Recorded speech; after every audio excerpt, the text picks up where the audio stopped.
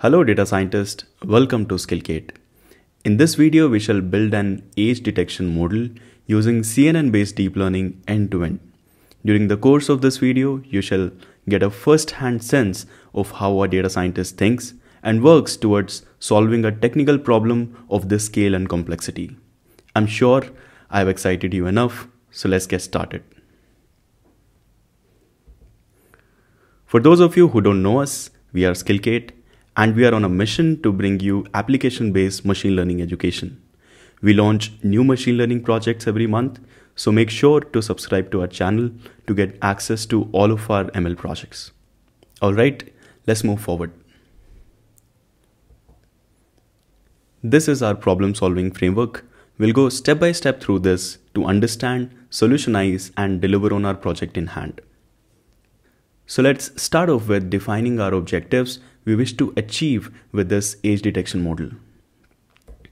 Simply put, we wish to build a highly accurate age detection model that takes human image as input and returns a probable age range for the subject in that input image. You and me ourselves can give a reasonable ballpark age range for any person we see around us. In this video, we shall build a CNN based deep learning model that does it for us automatically. During the course of this video, we shall focus on the technical aspects, including coding, for building an age detection model. If you wish to further deep dive into the business application of age detection, I would recommend you to go through our age, gender, and emotion detection business project that we have done for a retail store client, enabling them to predict age, gender, and emotion of people entering their store. In this business application project, we are making use of uh, the age detection model that we are building as part of this video. Link to this is in the description part below. Do check it out.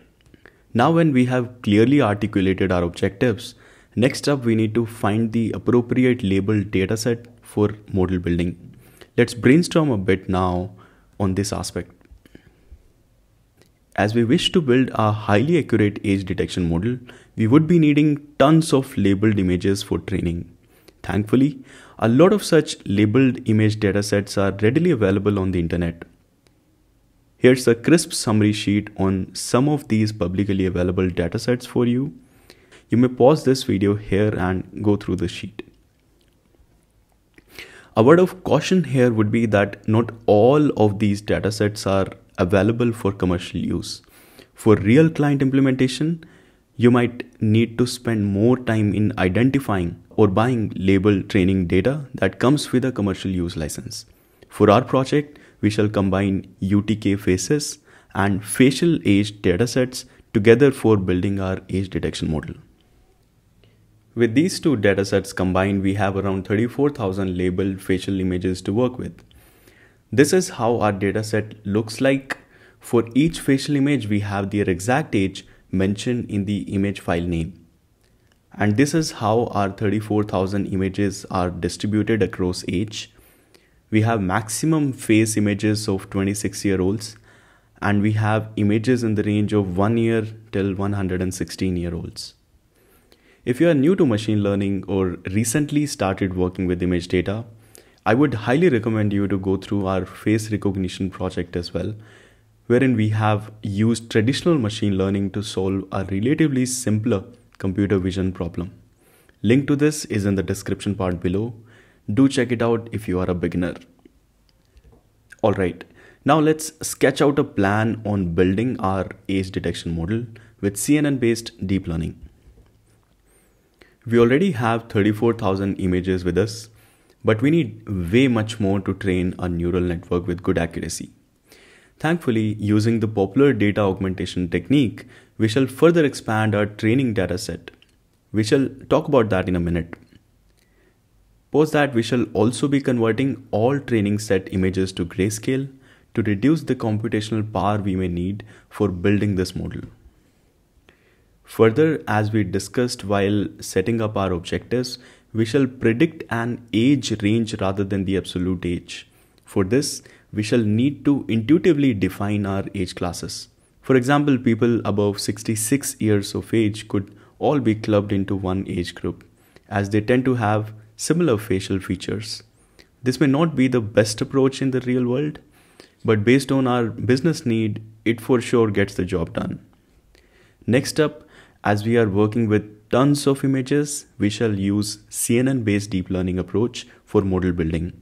CNNs are well suited to handle image data. A word of caution here would be that training your own model would require a high end machine with a GPU. You may use Google Colab Pro, which offers online infrastructure with a GPU on a paid basis. The age detection model we are building in this video is developed basis the experimental work done by Prerak Aggarwal. Link to his work is in the description part below I highly recommend you to go through his article to get a first hand understanding of how data scientists think. Okay, now let's talk about these highlighted items one by one, starting with data augmentation. As I mentioned a while back, this is how our dataset images would look like, wherein we have faces in upright position and age labels to go along. But in real world, faces in images would not necessarily be upright. They may be tilted to the left or to the right as well. Data augmentation helps us in addressing this issue and gives us a precious bonus in addition to it. By definition, data augmentation is the technique used to increase the amount of labeled data by adding slightly modified copies of already existing data or newly created synthetic data from existing data. In our case, data augmentation would do slight modifications on all our training set images we have by rotating the original image 20 degrees and 40 degrees clockwise and anti-clockwise. Plus, it mirrors our original image and then again does the rotations likewise. So with this, we have 10 total images from each base image labeled the same as the original image, or in other words, our training dataset becomes 10 times of what we originally had. Cool, isn't it? You may read more on data augmentation by following the link provided in the description part below. So just to summarize, we combine our original datasets UTK faces and facial age into one combined dataset of 33,486 images then we split it up into 70 30 training and test sets. Then on this training set of 23,440 images, we do data augmentation to inflate it by 10x, which is 234,400 images. Moving on, let's talk about defining intuitive age classes. People in certain age groups tend to look similar. Like this first age class 1 to 2 has subjects having growing teeth, hairs, generally speaking. For 3 to 9, the facial features start to grow. For 10 to 20, subjects start to look more mature. 21 to 27 age class is of mature adults. Likewise, for 28 to 45 age class, 46 to 65 would have more loud aging features, and this last class 66 to 116 have gray hairs, aging skin, etc. Of course, I am overgeneralizing here, but this is a close approximation of how similarities could be drawn on subjects in various stages of their life. And this is how data scientists think when they are in the process of building any ML model from scratch. Essentially, with this, you are asking a computer to do what you could do anyway, but at insane scale. So you would need to put a lot of your human sense into the model you are developing. Moving on, let's jump into the coding part of this age detection model now. Are you excited? Let's get coding. If you have already gone through our age, gender, and emotion detection business project, you should be quite familiar with this free toolkit. By the way, link to this Skillcate toolkit is provided in the description part below. Over here, we have this 1.1 age input output folder that has training dataset in the input subfolder and model output files including pre-trained age detection model files in the output subfolder. This 2.1 is our code file for building age detection model. Let's open it now to do a quick code walkthrough.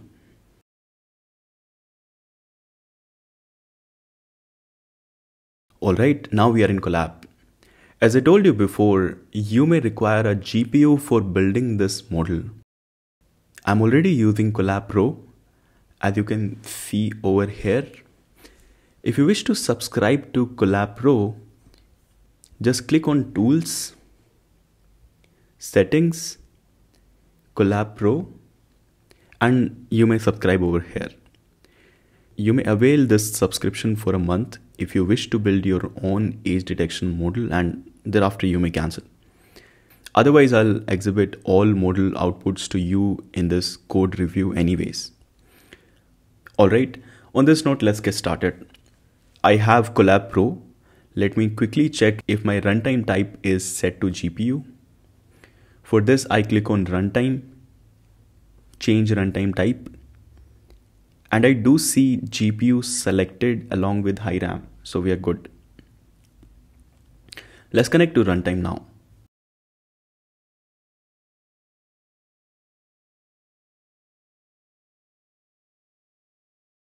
Awesome. Now let's go section by section through this code file to see and understand what our code does. First up, we have our plan of action wherein we have summarized everything we need to do as part of this age detection model building. Next up, we mount our Google Drive like this.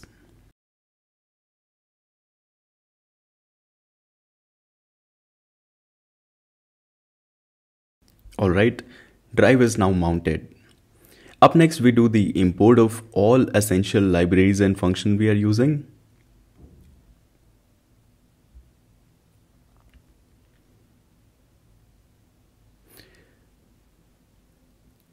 Now, just to be double sure, you may check if you have a running GPU with this next code cell.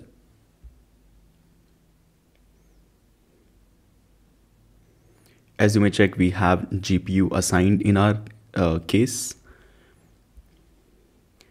This next section is on data preparation. Here first up we are importing our augmented training set and test set along with their labels that we have in our age input subfolder in the toolkit. In these first two code cells, we are reading the data zip files from drive. Let's do it.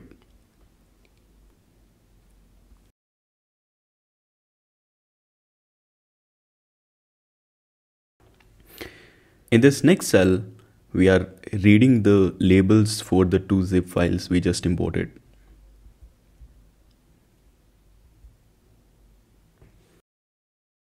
In this next section, we get to see how our dataset label files are like. You can see the output here. The next two cells tell us the number of rows we have in each dataset. So we have 234,000 images in the training labels file thanks to data augmentation. Similarly, we have over 10,000 images in test set, which is 30% of the combined dataset as we discussed a while back. Next up, we define our age classes. Sounds familiar, right?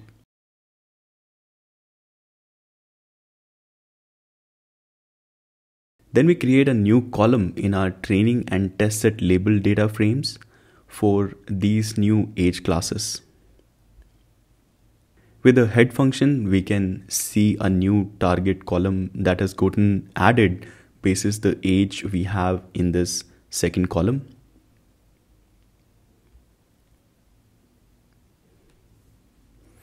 In this next section, we are organizing our training and test datasets. This is a prerequisite for CNNs.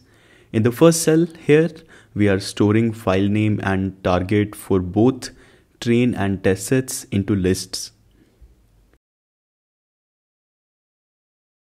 Then in this next cell, we are creating TensorFlow constants for the lists created above. Next up, we are defining a function for converting RGB images to grayscale. and in this next code cell we are passing all training and test images to the above defined function for converting them to grayscale. Now we come to the critical part where we define our CNN architecture. Let me take you through the architecture we are using. First up, we have an input 2D convolutional layer with 32 filters paired with an 2D average pooling layer. Then we have three pairs of 2D convolutional layer with 64, 128 and 256 filters respectively paired again with 2D average pooling layers.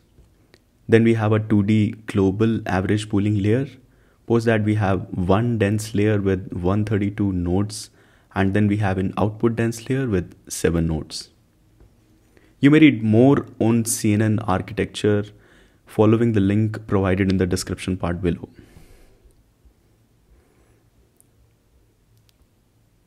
Next up, we are compiling the above defined CNN architecture in this next code cell. Then we are provisioning for storing CNN logs.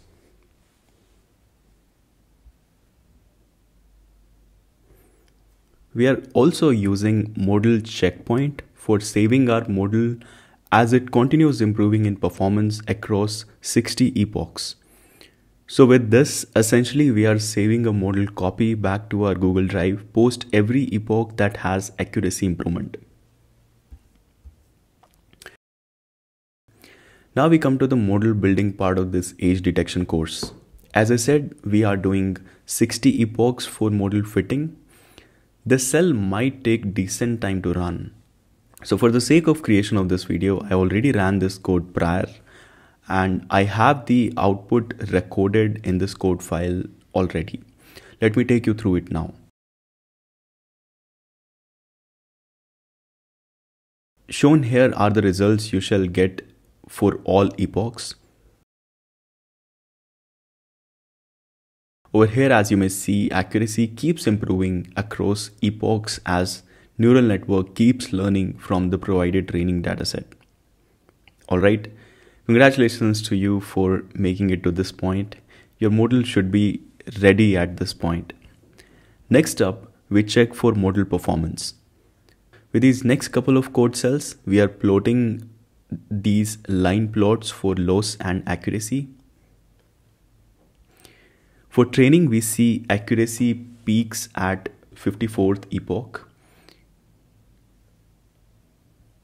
Next up, we are printing the final CNN score for our test dataset by passing it to the age detection model we just built.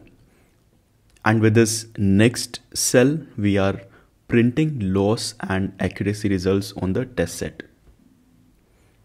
So our model is 77.9% accurate. Moving on with this next code cell, we save our final CNN model back to the drive under the output subfolder of age input output.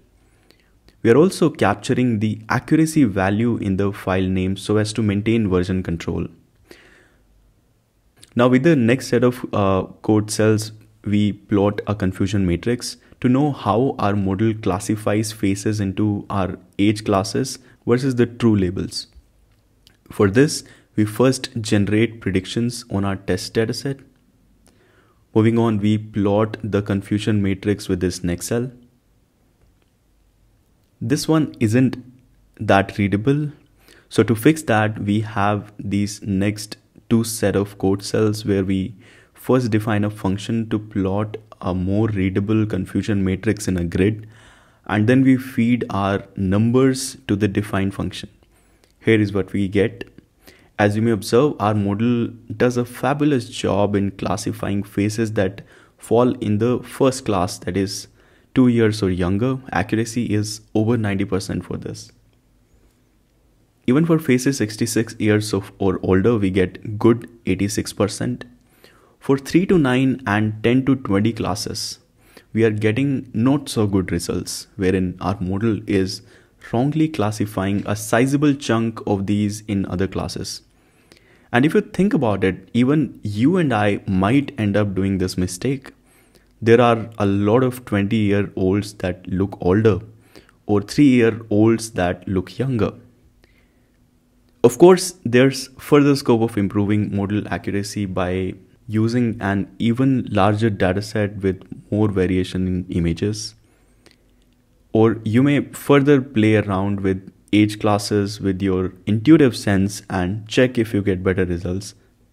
Sky is the limit, really. Alright, with this, we come to the end of this age detection code review part.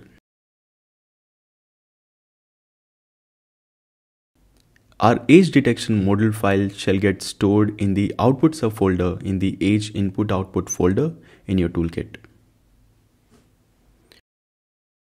Now let's talk a bit about the business application of this age detection model. We have already done a business case on age, gender and emotion detection for a retail store. I highly recommend you to go through it now to know how this model we just built could be used for a business application. Alright then, this completes our age detection model video. Hope you had fun all along do share your feedback or queries in the comment section below. We post new machine learning project videos every month, so make sure to subscribe to our channel if you haven't till now. Good luck to you. Bye.